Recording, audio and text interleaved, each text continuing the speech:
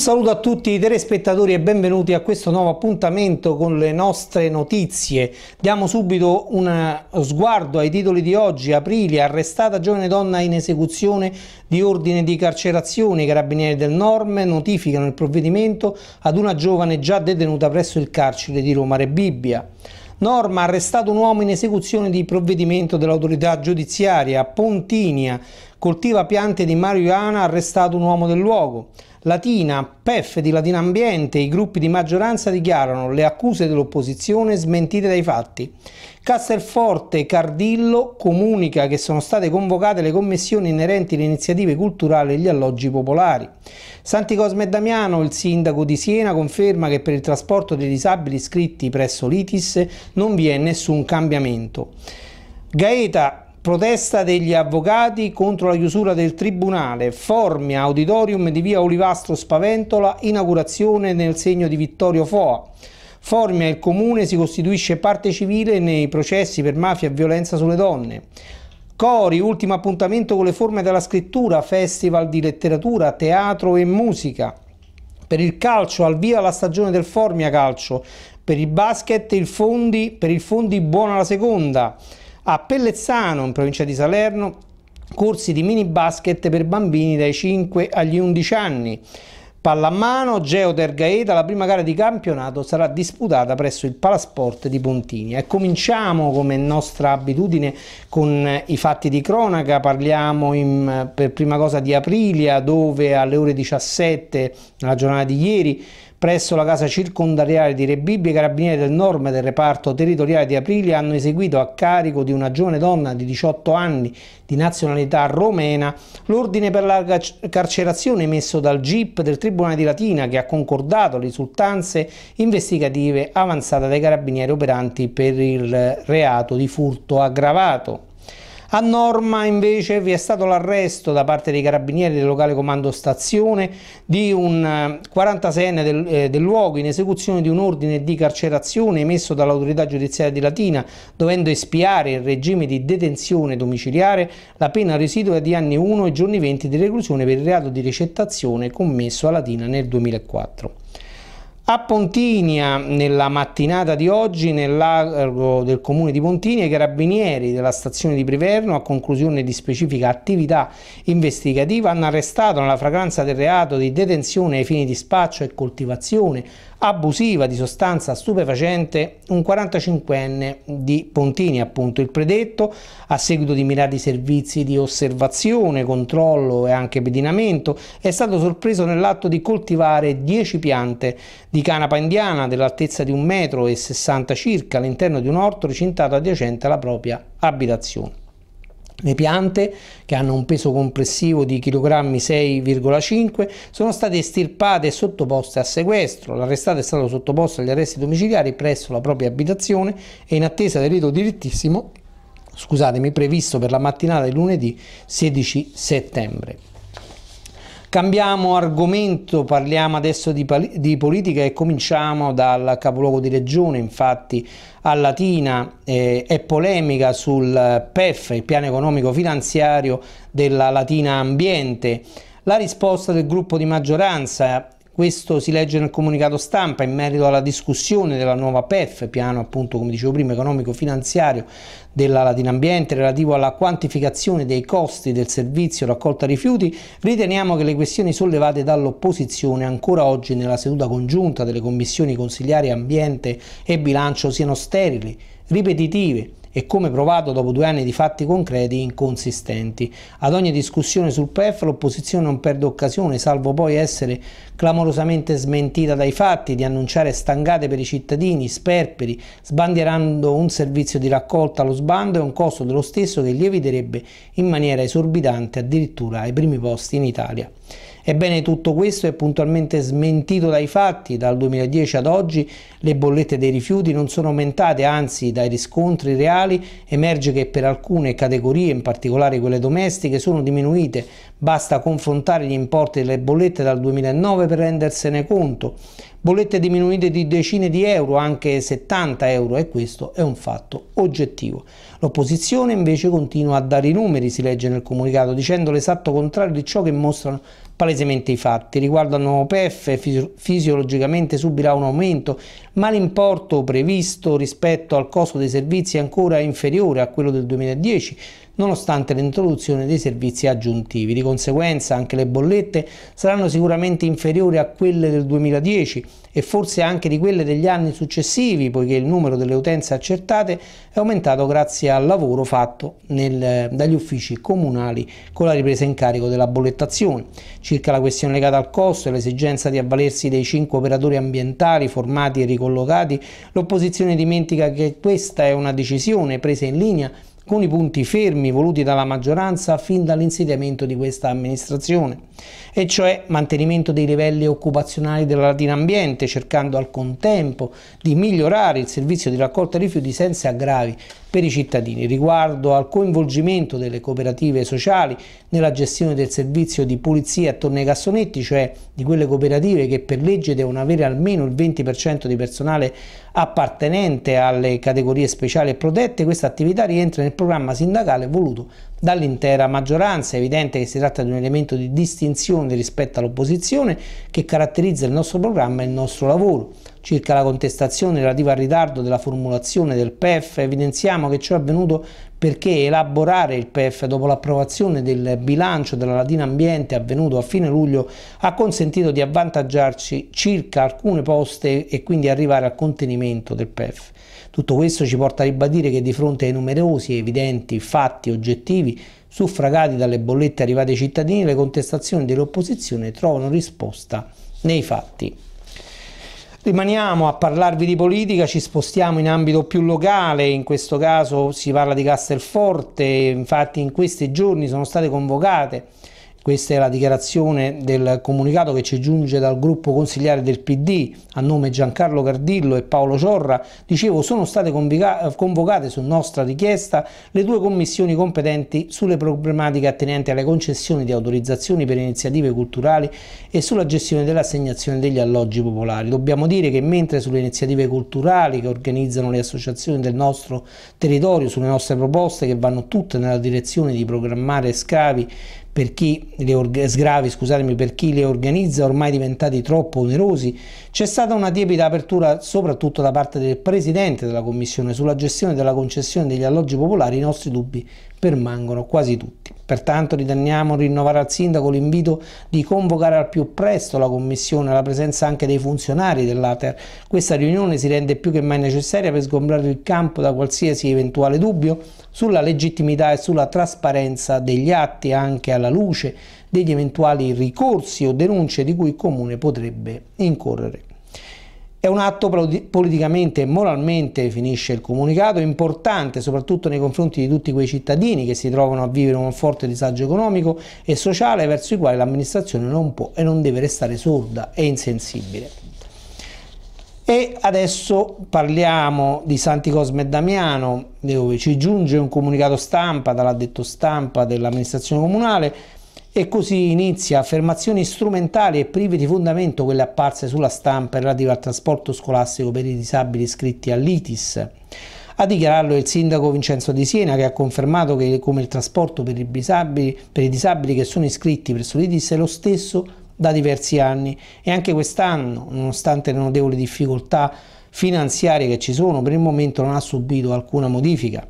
Tranne un disguido tecnico verificatosi il primo giorno di scuola, cioè lunedì scorso, per un guasto alla pedana di sollevamento delle carrozzelle del mezzo di trasporto, peraltro prontamente sistemata. Vorrei ricordare, ha proseguito il primo cittadino San Cosmese, che l'IDIS è un istituto superiore e pertanto rientra nelle competenze della provincia e non del comune. La provincia trasferisce un contributo per il trasporto, mentre il resto è a carico dei cittadini di Santi Cosme e Damiano attraverso il bilancio comunale che pertanto per garantire questo servizio siamo costretti a sacrificare altri servizi che riguardano il resto della cittadinanza e lo facciamo con piacere pur di venire incontro al disagio di queste famiglie. Tuttavia questa voglia di protagonismo, di apparire sulla stampa senza neanche tentare un incontro con le autorità interessate, senza neanche fornire un cenno di protesta diretto, sembra destare molti sospetti di strumentalizzazione. Io credo che la prima cosa, qualora si fosse stato un problema, sarebbe dovuta essere quella di venire al comune e cercare di parlare con il sindaco o con l'assessore preposto, come del resto questi genitori hanno fatto moltissime volte trovando sempre le porte aperte.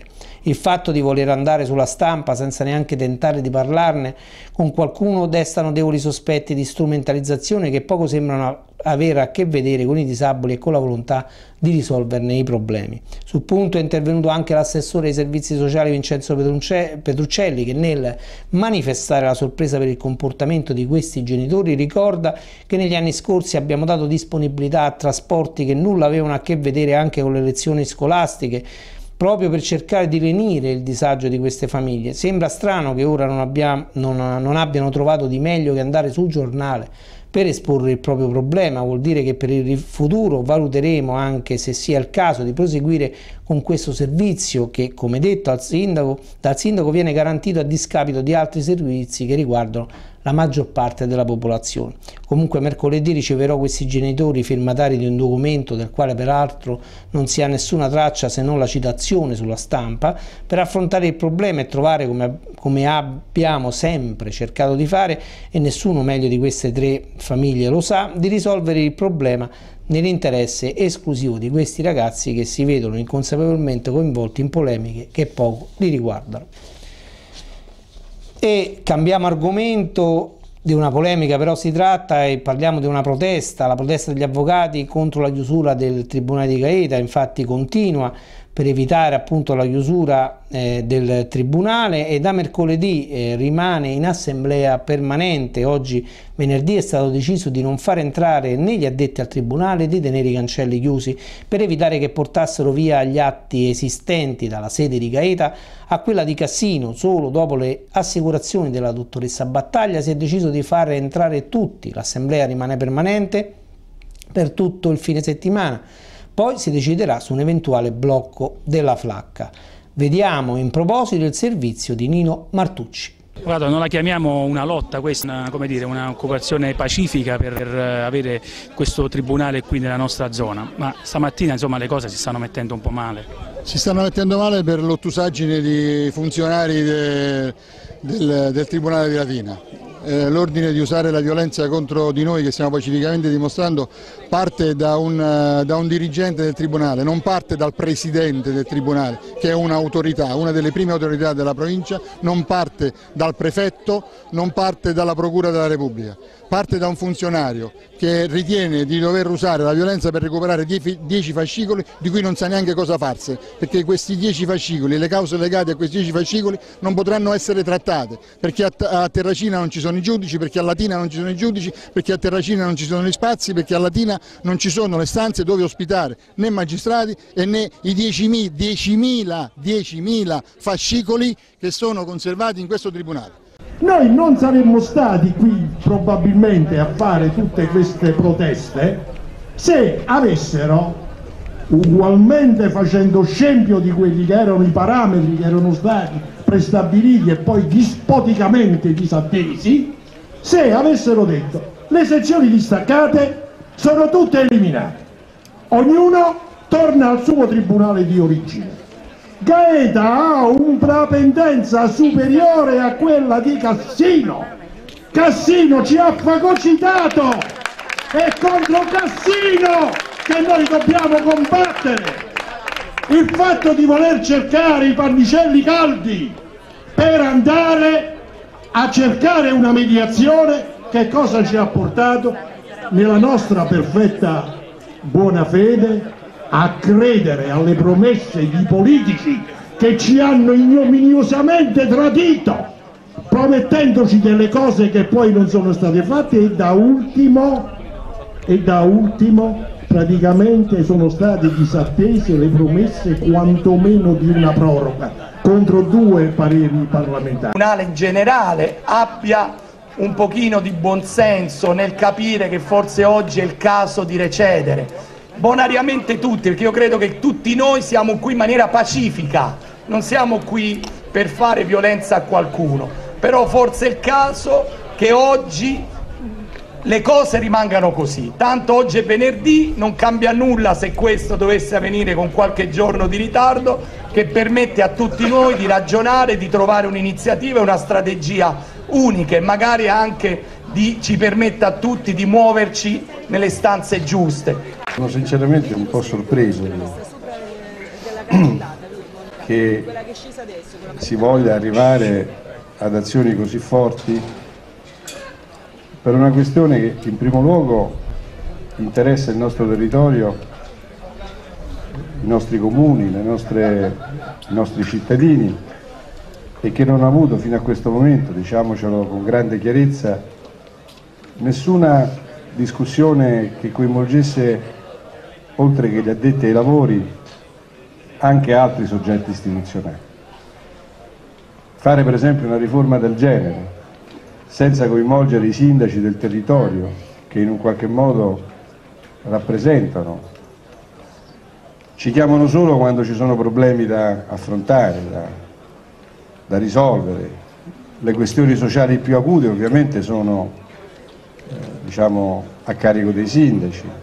Quando c'è in una città un problema te la devi sempre vedere te. Quando poi si decide di smantellare un impianto importante come quello per esempio dell'organizzazione del sistema giudiziario noi non esistiamo. Le cose si fanno direttamente a Roma neanche un'audizione neanche una richiesta di un parere scritto. Ce le chiedono sul dimensionamento scolastico. Perché non ce le possono chiedere sulla riorganizzazione della giustizia? Siamo arrabbiati, siamo arrabbiati, non ce la facciamo più e questa ultima provocazione ha proprio superato ogni limite. Mi dispiace, mi dispiace che operatori con i quali noi collaboriamo tutti i giorni debbano assumere decisioni, decisioni di questo tipo, veramente sono molto addolorato. Comunque, comunque, poiché noi continuiamo a stare in assemblea, noi abbiamo un documento che ieri, eh, che ieri sera abbiamo, abbiamo elaborato ed è una richiesta formale ai sindaci del, del territorio che coerentemente alle dichiarazioni non solo fatte oggi ma fatte già nel passato, in tutti questi periodi di lotta, quindi coerentemente a queste dichiarazioni possano convocare un consiglio comunale congiunto e permanente nella sede di questo tribunale. Questi sono delinquenti, sono praticamente hanno, sono gli andesignani di Hitler, questi hanno sterminato il popolo a lungo, hanno distrutto le cinque città della pianura di Carigliano, la nostra civiltà, datava 80.000 anni prima di Cristo e la civiltà italica era identificata tra Vesuvio, Rocca Monfisi e Circeo. Io voglio dire solo questo a voi, dopo questa distruzione. Nel 1751 Traetto aveva il suo statuto ed eravamo vice reame perché la capitale era a Madrid. Ebbene, a Minturno c'era il Bariulo, il Ballivo che decideva le controversie civili e penali. Chi era delinquente veniva legato al palo davanti alla chiesa con il sole e con la pioggia. Ma allora restituiteci il Bariulo del, del 1751 del vice reame. È vero o no? Venite, venite, State calmi, state calmi perché no, chiedo scusa, abbiamo concordato che entrano soltanto la signora Saltelli e l'autista per parlare con noi e basta. Ma non nel tribunale, è così. Non si tocca, non si tocca, non nel tribunale. Aspetta, solo nel piazzale. Solo nel piazzale. Eh? No, ma io sti soldi. Ah, tra Io voglio essere preso a mancare là. Uh, gli organi qui presenti, soprattutto la uh, dottoressa De Bellis, che uh, il vicequestore, che ci ha dato la sua parola che comunque i fascicoli non usciranno dal Tribunale e mi sembra questa una cosa positiva. Io ho aggiunto, non per mancanza di fiducia, ma per avere la certezza di chi ha la responsabilità dei fascicoli, di avere anche l'impegno della dottoressa Saltelli che è lo Stato e la dirigente delle cancellerie. Avuto questo impegno noi apriamo i cancelli per far rientrare gli impiegati per fare quel poco di lavoro che ancora gli rimane da fare, fermo restando il presidio. Questo credo che sia un atto eh, dovuto eh, per quella civiltà che ci siamo imposto e che abbiamo proclamato fino a questo momento, che se da una parte ci toglie e toglie tutti quanti dall'imbarazzo di un'azione di, un'azione di forza che non avrebbe portato a nulla, però ci dà la possibilità di poter, contare, di poter continuare a lottare in maniera civile e a presidiare il Tribunale. Il Presidente del Tribunale ha dato la disponibilità ad incontrarsi il Presidente di Latina, che da domani comunque non è più il nostro Presidente, ma abbiamo la uh, felicità di poterlo incontrare, ha dato la sua disponibilità e con lui eventualmente vedremo di concordare tutte le altre modalità che possano consentirci di continuare a sperare che queste quattro belle mura possano continuare a sopravvivere.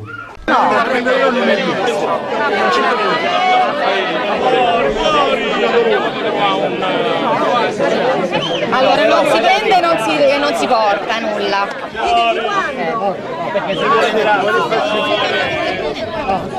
Dopo mi sfiducerete ma è tutto chiaro. Abbiamo logica no, è la parola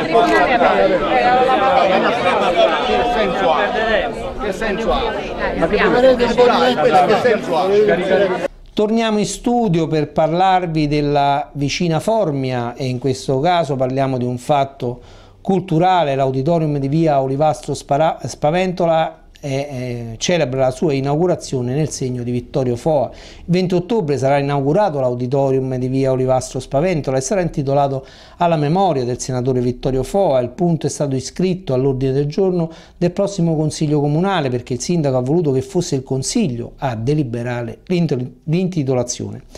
Il 20 ottobre, quinto anniversario della morte, eh, sarà l'occasione per ricordare questa straordinaria figura di politica e intellettuale scusatemi, che ha dato lustro alla nostra città scegliendola per un ventennio come sua prediletta residenza e in ultimo come luogo di sepoltura. Vittorio Foa, cittadino onorario di Formia, ha onorato l'Italia, prima attraverso la lotta antifascista, che ha pagato duramente con dieci anni di carcere e successivamente come padre costituente, parlamentare per cinque legislature e dirigente sindacale della CGL per tantissimi anni. Il sindacato, il lavoro, il rapporto con le persone sono state la sua grande passione, ha scritto numerosi libri e ha aperto dibattiti culturali e sociali di grande rilevanza. Torinese di origine, scelse Formia come città di adozione, qui sposò la sua compagna Sesa Tatò nel 2005 presso la sala sicurezza del comune. Formia vuole rendere omaggio alla sua figura, prevedendo insieme all'intitolazione della struttura anche un convegno alla presenza di intellettuali artisti, tra i quali Vittorio Sermonti e Carlo Ginsburg, eh, che rappresentano due eccellenze assolute. Eh, L'idea su cui l'amministrazione lavora è che da eh, questa iniziativa parta per gli anni successivi un festival che affronti a partire dal Novecento i temi del futuro ai quali FOA era particolarmente sensibile. Saranno invitati storici, eh, sociologi, filosofi, economisti, si terranno manifestazioni concertistiche, mostre e tanti altri eventi culturali. Al centro del festival un premio internazionale diviso in più sezioni, assegnato da una commissione di esperti di livello nazionale che saranno ufficialmente presentati nel corso della cerimonia di inaugurazione dell'auditorium. Vittorio ha dato lustro al nome di Formia, commenta il sindaco Sandro Bartolomeo, e noi vogliamo restituirgli almeno in parte il segno della nostra riconoscenza. Il festival non sarà un evento celebrativo, a lui non sarebbe piaciuto, avrà un contenuto politico, culturale e sociale perché i giovani tornino a interessarsi di storia e conseguentemente anche di politica perché attraverso un approfondimento sul secolo scorso affrontino al meglio le sfide del futuro. Rimaniamo a Formia per eh, parlare di un altro argomento, il fatto che il Comune si costituirà parte civile in tutti i processi per mafia e violenza sulle donne che avranno come parte resa i cittadini o il territorio di Formia. Lo prevede una delibera votata venerdì dalla Giunta Comunale, contestualmente l'esecutivo cittadino ha dato mandato all'Avvocatura di inviare una nota alle direzioni distrettuali antimafia perché comunicano all'amministrazione di Formia i processi di propria competenza che coinvolgono la città. Il primo procedimento penale cui il Comune prenderà parte è fissato per il 12 ottobre al Tribunale di Napoli e riguarda il clan Mallardo di Giuliano. Non solo mafia, la costituzione di parte civile riguarderà anche i reati commessi contro le donne, parliamo dello stalking, dei maltrattamenti in famiglia, delle lesioni personali, eccetera. Teniamo fede a quanto promesso in campagna elettorale, commenta il sindaco Sandro Bartolomeo, vogliamo imprimere una svolta culturale alla città perché le mafie si combattono anche su questo terreno. Dei processi si occuperà l'avvocatura comunale, non daremo incarichi esterni, gli fa eco il delegato alla sicurezza Patrizia Menanno. Con questo provvedimento intendiamo continuare sulla strada intrapresa con le ultime iniziative perché i valori della legalità sono per noi un preciso indirizzo politico. Costituirsi parte civile conclude un segnale concreto che diamo all'intera città perché si dica no alle mafie senza ambiguità né paure. Passiamo a Cori per parlarvi dell'ultimo appuntamento con le forme della scrittura, Festival di Letteratura, Teatro e Musica, organizzato appunto nella città dallo staff dell'assessorato alla cultura con la collaborazione della provincia di Latina e della regione Lazio per sensibilizzare al tema della legalità attraverso le diverse espressioni della scrittura, protagonista della terza giornata sarà l'Associazione di cittadini contro le mafie e la corruzione. Volontari, giornalisti, giuristi e cittadini impegnati da anni sul fronte dell'informazione e dell'educazione, soprattutto giovanile, alla legalità e alla giustizia sociale, collaborando con istituzioni, gruppi e anche movimenti e, pro e proponendo soluzioni per rendere più incisiva la lotta alle mafie e alla corruzione e favorire maggiori livelli di giustizia e di partecipazione alla gestione della cosa pubblica. Domenica 15 settembre alle 17.30 presso la sala conferenze del Museo della Città e del Territorio la proiezione in anteprima assoluta del documentario Il giorno prima prodotto e realizzato da Antonio Turri e Maria Sole Galeazzi dell'Associazione Cittadini contro le mafie e la corruzione. Il cortometraggio narra la storia di un imprenditore agricolo siciliano, Rosario Puglia, che nel paesino di Lingua Glossa, alle pendici dell'Ettera, in provincia di Catania, tenta di salvare la sua tenuta agricola, dove si produce un ottimo vino, dall'assalto appunto di Cosa Nostra. Saro si è rivolto all'associazione per esistere e non sentirsi solo contro lo strapotere della mafia e contro l'indifferenza dello Stato e di molti suoi concittadini. A seguire l'incontro, dibattito, l'antimafia del giorno prima perché stare vicino alle vittime con Antonio Turri, presidente dell'associazione, la presenza di due testimoni di giustizia. L'antimafia si sviluppa in Italia anche per ricordare le vittime innocenti delle mafie, coloro i quali sono stati uccisi per aver, eh, per aver contrastato gli interessi dei clan hanno diritto ad essere ricordati, ma questo, seppur doveroso, non basta perché tutte le vittime delle mafie, prima di essere state colpite, sono state lasciate sole da quei pezzi di Stato che non hanno saputo proteggerle anche dalla società civile. L'antimafia sociale spetta ai cittadini affinché il sacrificio di chi ha lottato contro le mafie non sia stato vano e deve saper star vicino alle persone che si impongono contro appunto questa forma di violenza prima che fossero, prima che avvenga che siano colpite.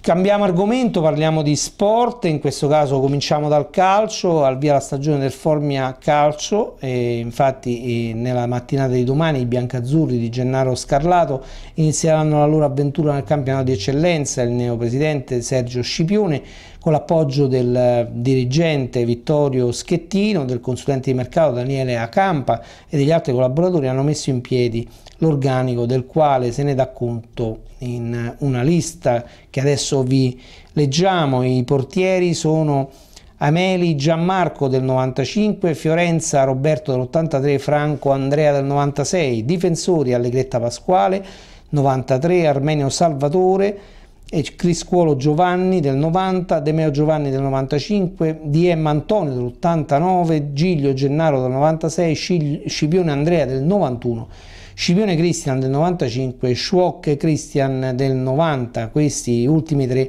della lista dei difensori confermati dall'altro anno, Carriello Alfredo 79 proveniente dal Pomigliano, Cavaliere Francesco 94 dall'Andria, De Santis Agostino, confermato. Lecce, Leccese Samuele, proveniente dal Gaeta del 94, Magrelli Gianmarco del 94, Parente Raffaele del 95, Petronzio Jonathan, confermato nel 94, Scarpato Giovanni dell'89 e Volpe Stefano del 91. Gli attaccanti Marinello Mario dell'82, Ottobre Eugenio del 95 che proviene dall'Aprilia, Russo Raffaele 89 proveniente dalla Frattese, Spila Botte Fortunato del 90 anche lui dalla Frattese e Tartaglia Virgilio del 96 proveniente dalla città di Minturno Marina. E parliamo di eh, basket. Per il Fondi buono la seconda, infatti l'amichevole che la squadra fondana ha fatto contro il basket Terracina con pagine che milita in C regionale e ha visto una partita mai in discussione per la truppa di coach di Fazio, impressioni positive sono arrivate dalla gara, buone le prestazioni di Pietrosanto e Porfido in particolare, migliora ogni giorno il giovane lungo gattesco, belle risposte anche dai molti giovani di Rocco e Refini su tutti, nonostante i carichi di lavoro pesanti ancora da assorbire, c'è stato comunque un miglioramento significativo del lato atletico rispetto alla scorsa amichevole contro i ragazzi dell'Under 19 della SMG. Qualcosa da rivedere sul lato tattico come normale che sia a questo punto della stagione. Ricordiamo che il prossimo appuntamento sarà sabato e domenica con il quadrangolare di Agropoli con la squadra di casa Scafati e Maddaloni. Quindi il punteggio è stato Oasi di Cufrafondi, Basket e Deracina 71 a 50 con parziali 18-15, 35-22, 54-33. E passiamo invece adesso a parlarvi di una notizia sempre di basket che riguarda l'amministrazione comunale di Pellezzano in provincia di Salerno che rende noto che nell'ambito dell'attività dei servizi sociali in collaborazione con l'ASD Salernitana Basket 2004 saranno organizzati corsi di mini basket con istruttori qualificati Potranno partecipare i minori, maschi e femmine, con età compresa tra i 5 e gli 11 anni. Le lezioni si terranno presso il palazzetto comunale di Capriglia per favorire la più ampia partecipazione. Sono previste agevolazioni anche per le famiglie che presentano un reddito ISE da 0 a 5.999 euro. I primi 20 bambini iscritti pagheranno solo l'iscrizione necessaria per l'assicurazione e per l'acquisto del kit sportivo. Le iscrizioni si potranno fare presso l'ufficio relazioni con il pubblico del comune di Pellezzano da lunedì 16 a giovedì 26 settembre 2013, tutti i giorni dalle 9 alle 12.30 e lunedì e giovedì anche in orario pomeridiano dalle 16 alle 18.30. Per l'iscrizione sono richiesti i seguenti documenti il modello ISE relativo al 2012, la certificazione di un pediatra di base attestante lo stato di salute del bambino, la fotocopia del libretto pediatrico regionale e un certificato di residenza. Parliamo di pallamano e, e quindi non si può far meno che parlare della Geoter Gaeta. Il Gaeta Sporting Club infatti comunica che a causa della temporanea inagibilità del Pala Amendola di forme alla prima gara di campionato della Geoter Gaeta, che lo ricordiamo è sabato 21 settembre contro Junior Fasano, sarà disputata presso il Palasport di Pontinia con orario di inizio fissato alle 18. Se l'inagibilità dovesse protrarsi, la Geoter disputerà a Pontini anche la seconda gara interna in programma il 5 ottobre contro il, la Lazio. Inoltre, al ritorno al Palamendola, l'orario di inizio delle gare della Geoter sarà posticipato alle 19, a differenza delle 18, come precedentemente comunicato. Le uniche ulteriori variazioni di orario riguardano le gare del 21 dicembre e del 14 gennaio rispettivamente contro Cus Palermo e, Team Network Albatro Siracusa, con fischio d'inizio fissato alle ore 16. Era questa l'ultima notizia del nostro telegiornale, a me non resta che salutarvi e darvi appuntamento alle prossime edizioni.